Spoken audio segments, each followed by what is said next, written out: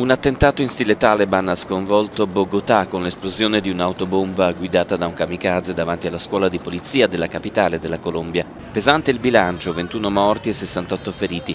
L'attacco è stato condannato da tutti, anche dagli ex guerriglieri delle FARC, che si sono costituiti ormai in partito politico dopo gli accordi di pace. Il presidente Ivan Duque ha decretato tre giorni di lutto. È un attacco è un attacco non solo contro la gioventù o le organizzazioni pubbliche o la polizia, è un attacco contro tutta la società. Questo atto terroristico demenziale non resterà impunito.